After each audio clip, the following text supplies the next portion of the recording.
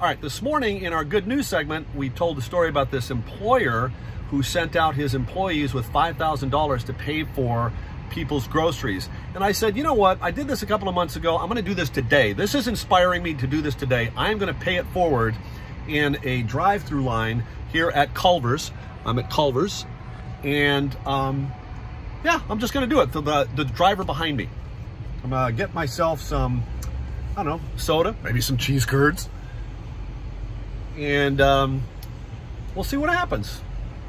So the lady in the drive-through did not want to be recorded, but she did pay for the person's order behind me, and they're going to bring out my order, and let's just see what happens. That's the car. They're pulling over there. Yes, thank you very much. You're very welcome. We do that all the time and it never happens to us. So Are you kidding? You do it too?